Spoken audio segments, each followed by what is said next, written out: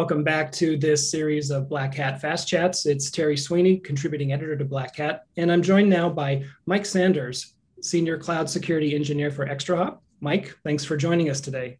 Thanks for having me, Terry.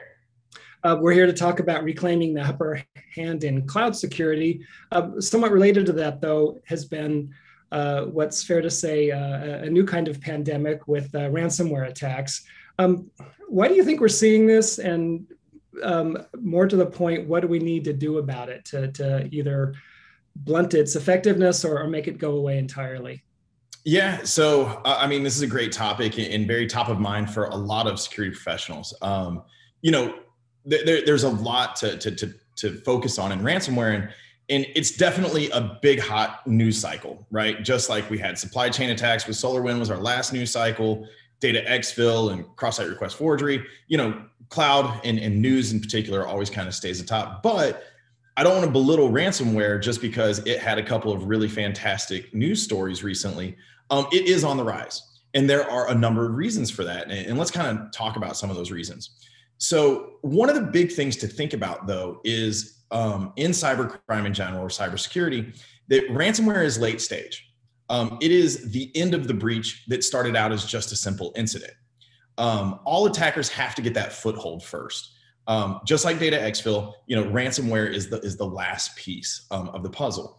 Now, then, why are we seeing an uptick in cybercrime in general? And I think that kind of, just like you mentioned, another kind of pandemic. So last week, you know, we had a, a mass exodus out of our nice, secure homes at, at corporate headquarters, and now with work from home, we've seen a lot of fast and loose, right? It's it's you know we didn't send people home with anything more than a laptop and maybe an endpoint. Um, you know, we didn't send them home with firewalls and all this other great stuff that we have at the headquarters. So the footprint's big and it's very vulnerable. And if we look yeah, and if and if we look at something like Colonial Pipeline, right? Um, they had a really broad attack surface, a bunch of stuff exposed. And so um, so cybercrime is definitely on the uptick. Now then, ransomware specifically, why are we seeing that? Um, I think it's because it's easy right? And I think it's because it's monetized. So one of the big things that we've seen is this ransomware as a service concept. I, am sure you've heard of this, and, and right. that's yeah, like the DarkSide and, and, and, things of this nature. The um, the big problem here is is that it's very easy to implement and um, very fast to implement. So you've got these um, actors out there that are finding zero day exploits, just like we've always had in cybersecurity. Mm-hmm. But now they can you know pay a little bit of their ransom to these people that write this really fantastic ransomware as a service. And so all they have to do is find a vulnerability get it in the wild and then they tack on this ransomware at the end. So again the incident becomes the breach because of ransomware as a service.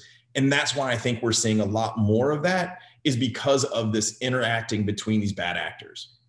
As scam goes it, it, it ransomware is very much a long game isn't it Yes, it is. And so one of the tough parts is, and and one of the things that we do need to highlight, especially for all our security practitioners checking in, is we of course don't encourage anybody to pay, you know, um, these uh, these ransoms.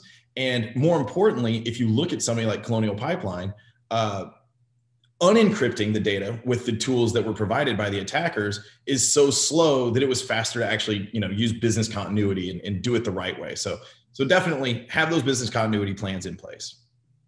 Mike, is there anything specifically around ransomware itself that makes it particularly hard to either detect or to shut down? Absolutely. Um, so one of the tough parts, and remember, after that incident, after that initial foothold, ransomware looks a lot like standard file access. Um, you know, it is basically just reading, encrypting, and then writing. Okay. And so, you know, that's not real easy to identify um, if you're looking at you know just interactions and logs and things of that nature it's just a normal user interacting with a normal file server. Um, yes the volumetric is totally different. There might be some key signatures like uh, file extensions but that's easily um, obfuscated. And so uh, so for your traditional kind of monitoring tools it's very very difficult to uh, to, to identify ransomware so it's doing a better job of looking normal and really really uh, mastering that stealth mode. Exactly. So it, it really cripples your ability to detect and respond. And, and so that's why you do need to take a little bit different approach to, to detection and response of ransomware. Let's shift gears slightly and talk a little bit about network detection and response or NDR. Um, how does NDR not only detect ransomware, but how can it also detect other advanced threats?